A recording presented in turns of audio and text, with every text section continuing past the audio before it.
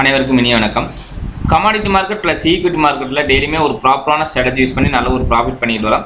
அந்த வகையில் இன்றைக்கி வந்து பார்த்தீங்கன்னா morning session leave equity market ஃபுல்லாகவே லீவு ராம் நவ நவமி முன்னிட்டு மார்னிங் செஷன் லீவு எம்சிஎக்ஸை பொறுத்தளவுக்கு evening session five PM to eleven thirty PM ஃபுல்லாகவே ட்ரேடிங் இருக்கும். ஃபாலோ பண்ணுங்கள் கண்டிப்பாக மிகப்பெரிய ஒரு சப்போர்ட்டாக இருக்கும். இது நம்மளோட சேனல் நேம் எம்சிஎக்ஸ் ட்ரைனிங் அகாடமின்ட்டு உங்களுக்கு ஏதாவது சப்போர்ட் தேவைப்படுச்சுன்னா நம்ம வாட்ஸ்அப் உங்களுக்கு ஷேர் பண்ணுங்கள் மார்னிங் வந்து nine o'clock video upload பண்ணுவோம். அது எந்த அளவுக்கு அச்சீவ் ஆகுங்கிறத ஈவினிங் ஒரு வீடியோ நம்ம டெக்னிக்கலாக அனலைஸ் பண்ணுவோம். எந்த ட்ரேடிங் பண்ணாலும் ஸ்டாப் லாஸ் இல்லாமல் ட்ரேடிங் பண்ணிடாதீங்க. அதே மாதிரி ட்ரெண்டு எப்படி இருக்குது அப்படிங்கிறத நீங்கள் தெரிஞ்சுக்கிட்டு பண்ணோம் அப்படின்னா மார்க்கெட்டில் ரிஸ்க் இல்லாமல் ஒரு நல்ல ஒரு ப்ராஃபிட் ஏர்ன் பண்ண முடியும். சரிங்களா? அதே மாதிரி ஸ்டாப் லாஸ் இல்லாமல் தயவுசெய்து ட்ரேடிங் பண்ணிடணும் சொல்கிற டிப்ஸை கரெக்டாக ஃபாலோ பண்ணுங்கள் சரி.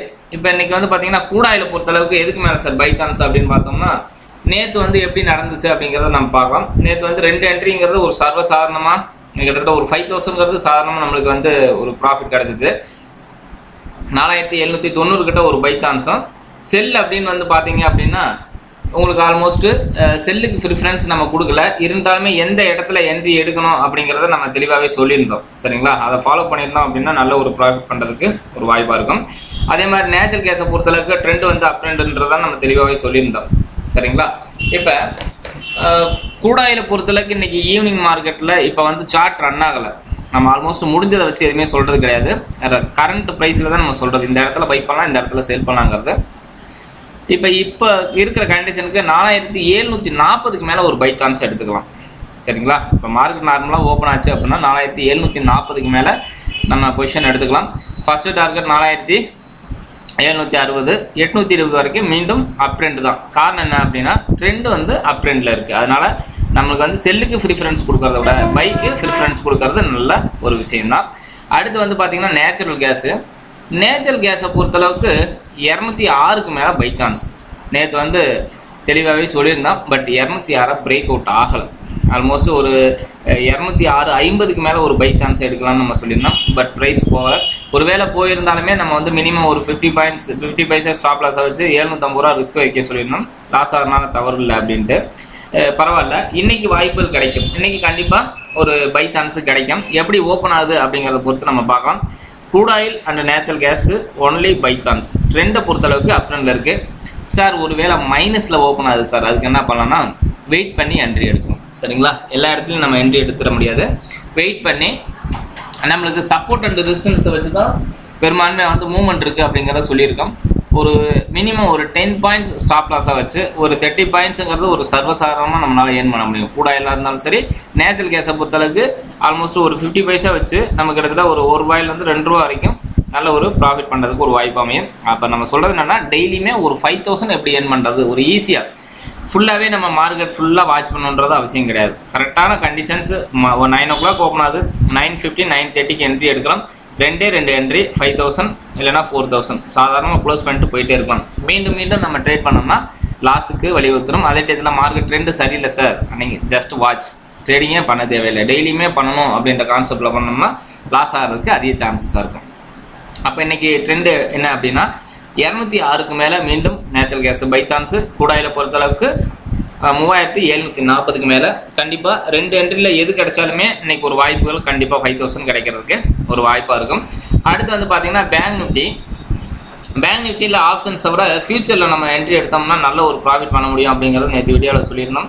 ஒன்றும் இல்லை ட்ரெண்டு எப்படி இருக்குது அப்படிங்கிறத நம்ம தெரிஞ்சுக்கணும். ட்ரெண்டை பொறுத்தளவுக்கு டவுன் ட்ரெண்டு அது நம்ம வந்து கிட்டத்தட்ட மந்த் ஸ்டார்டிங்கில் இருந்து சொல்லிக்கிட்டு இருக்கோம். முப்பத்தி நாலு ஐநூறுலேருந்து பிரேக் அவுட் ஆச்சுன்னா ஐயாயிரம் பாயிண்ட் இறங்குன்றது ஆல்மோஸ்ட் நம்மளோட டார்கெட் அச்சீவ்ட் ஆயிடுச்சு இப்போ இந்த இடத்துல அதாவது மீண்டும் மீண்டும் தெளிவாக எதுக்கு சொல்கிறோம் அப்படின்னா கரெக்டாக ஃபாலோ பண்ணுங்கள் இப்போ கரெக்டாக இந்த இடத்துல ரெசிஸ்டன்ஸுக்கிட்ட இந்த செல் சிம்பிள் வந்து உங்களுக்கு செல் கிடச்சிச்சுன்னா இப்போ இந்த இடத்துல நம்ம செல் பண்ணுவோம். கிட்டத்தட்ட முப்பத்தி ஒன்று முந்நூற்றி ஐம்பது. ஸ்டாப் லாஸ் எவ்வளோ வைப்போம்? முப்பத்தி ஒன்று நானூற்றி ஐம்பது. கிட்டத்தட்ட நானூற்றி அறுபத்தஞ்சு ஆல்மோஸ்ட் ஒரு ஐநூறு கூட. ஒரு நூற்றம்பது ரூபாய் ஒரு மூவாயிரரூவா ரிஸ்க் வச்சு தான் ஆகணும் தவறு ஒன்றும் இல்லை. இந்த மூவாயிரரூவா வச்சுருந்தோம் அப்படின்னா இன்றைக்கோட நம்மளோட டார்கெட் என்ன அப்படின்னு பார்த்தோம் அப்படின்னா கிட்டத்தட்ட ஒரு நல்ல ஒரு ப்ராஃபிட் கிட்டத்தட்ட தொள்ளாயிரம். ஒரு நானூறு ஒரு சர்வசாதாரணமாக நம்மளால் ஏர்ன் பண்ண முடியும். அப்போ நானூறு ரெண்டு டுவெண்ட்டி ஃபைவ்ங்கிறது கிட்டத்தட்ட டென் தௌசண்ட் ஒரு சாதாரண விஷயம். நம்ம மீண்டும் நம்ம சொன்னதான் ஒரு ஃபைவ் டு செவன் தௌசண்ட்க்கு மேலே வந்துச்சுன்னு நம்ம அழகாக புக் பண்ணலாம். தப்பு இல்லை சில நேரத்தில் எக்ஸ்ட்ரனரி மூமெண்ட் கூட இருக்கும். சரிங்களா? ஆல்மோஸ்ட் நானூறு பாயிண்ட்டுங்கிறது மிகப்பெரிய அளவில் ப்ராஃபிட் தான். நம்ம இல்லைன்னு மறுக்க முடியாது. இப்போ இந்த மாதிரி இந்த இடத்துல என்ன சார் பண்ணலாம் அப்படின்னா பை சான்ஸ் கிடச்சிருக்கு. இப்போ இந்த இடத்துல பை பண்ணக்கூடாது. நம்மளுக்கு ஒருவேளை இந்த இடத்துல பை சான்ஸ் கிடைக்குதுன்னா நம்ம இந்த ஸ்டாப் லாஸ் அதாவது இதுலேருந்து கொஞ்சம் ஒரு ஐம்பது பாயிண்ட் தள்ளி நம்மளுக்கு என்ட்ரி கிடச்சி இதுக்கு கீழே ஸ்டாப் லாஸ் வச்சோம் அப்படின்னா எக்ஸ்ட்ரானரி ப்ராஃபிட் எக்ஸ்ட்ரானரி நெகட்டிவாக போய் ட்ரேட் ஆகிறதுக்கு வாய்ப்புகள் இருக்காமே இப்போ இந்த மாதிரி இடத்துல என்ட்ரி எடுக்கிறப்போ உங்களுக்கு ஏடிஎக்ஸ் எல்லா இண்டிகேட்டருமே நம்மளுக்கு சப்போர்ட் ஆகிடும் சரிங்களா? எல்லா இண்டிகேட்டருமே இப்போ எக்ஸாம்பிளுக்கு எது வேண்டாலும் நம்ம எடுக்கலாம். இப்போ நிஃப்டியோ ஒரு நிஃப்டி எக்ஸாம்பிளுக்கு நிஃப்டி நம்ம பார்க்கலாம்.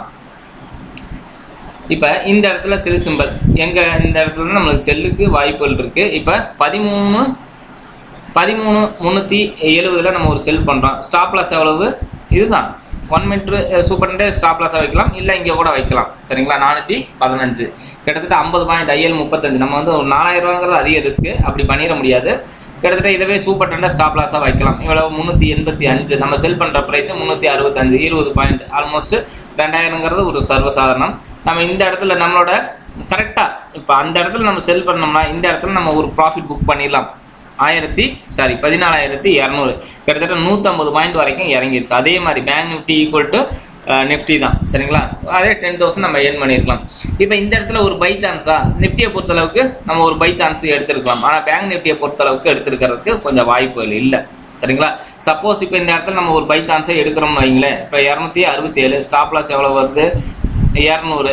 கிட்டத்தட்ட வந்து பார்த்தீங்கன்னா ரொம்ப டிஃப்ரென்ஸ் வரக்கூடாது. நம்ம ஸ்டாப் லாஸ் அது ரொம்ப முக்கியமாக பார்க்குறோம் அதுக்கடுத்து சைடு வேஸில் இந்த இடத்துலயே நம்மளுக்கு ஒரு வேளை நம்ம எடுத்திருந்தாலும் உங்களுக்கு ஒரு இருபது பாயிண்ட் வரைக்கும் போயிட்டு ஆல்மோஸ்ட் இந்த இடத்துலயே நம்ம ட்ரிகர் ஆனாலும் காஸ்ட்டு காஸ்ட் நம்ம எக்ஸிட் ஆகும்.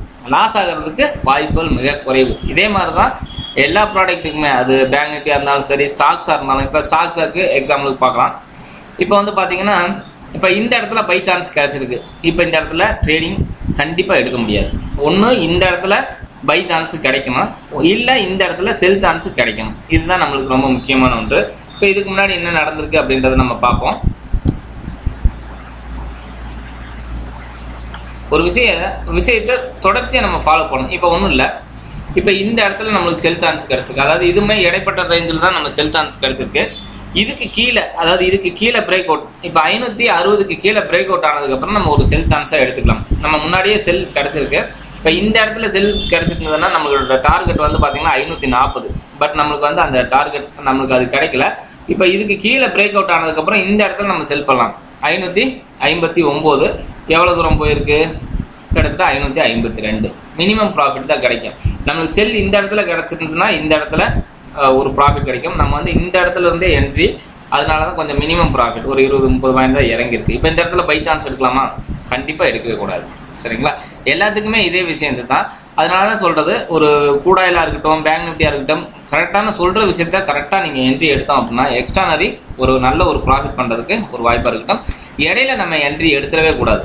சரிங்களா? ரொம்ப முக்கியமான ஒன்று இடையில என்ட்ரி எடுத்துடக்கூடாது இப்போ நேற்று வந்து பார்த்தீங்கன்னா கூடாயில பொறுத்தளவுக்கு எங்கே ஒரு செல் சான்ஸு கிட்டத்தட்ட நாலாயிரத்தி எட்நூற்றி இருபது. கிட்டத்தட்ட ஒரு ரெண்டு மூணு டைம் வந்து பார்த்தீங்கன்னா இந்த ப்ரைஸ்லேருந்து உங்களுக்கு வந்து இங்கேருந்து அதாவது நம்ம மார்னிங் தெளிவாக சொல்லியிருந்தால் நாலாயிரத்தி எழுநூற்றி தொண்ணூறு கிட்ட பை சான்ஸ் எட்நூற்றி இருபது கிட்ட புக் பண்ணியாச்சு.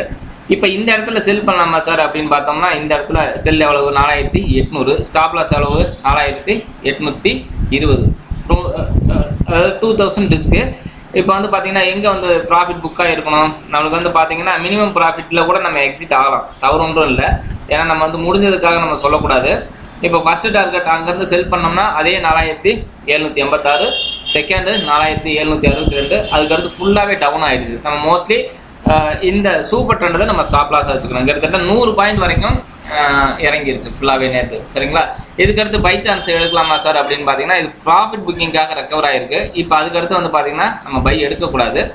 இப்போ ஏன்னா ஒரு ஒரு பை சான்ஸு ஒரு செல் சான்ஸ் இந்த மாதிரி மாறி மாறி கிடைக்கும். எப்படி மா ஈவினிங் வந்து மார்க்கெட் ஓப்பன் ஆகுதுன்றதை பொறுத்து அப்போ அப்போ அப்போ தான் நம்ம வந்து லைவாக டெக்னிக்கலாக ஈஸியாக நம்ம அனலைஸ் பண்ண முடியும். இது க்ளோஸ் ஆனதை வச்சு நம்ம வந்து பார்க்குறது வேஸ்ட்டு ஈவினிங் வீடியோவில் பாருங்கள் தெளிவாக இந்த இடத்துல என்ட்ரி எடுக்கலாம். வேணாம் அப்படிங்கிறத தெளிவாக நம்ம பார்க்கலாம். சரிங்களா? ஓகே நண்பர்களே அனைவருக்கும் வாழ்த்துக்கள். நன்றி. இந்த வீடியோ பிடிச்சா லைக் பண்ணுங்கள் ஷேர் பண்ணுங்கள் தொடர்ச்சியாக ஃபாலோ பண்ணுங்கள் ஈவினிங் மட்டுமில்லை சந்திப்போம். வாழ்த்துக்கள். நன்றி.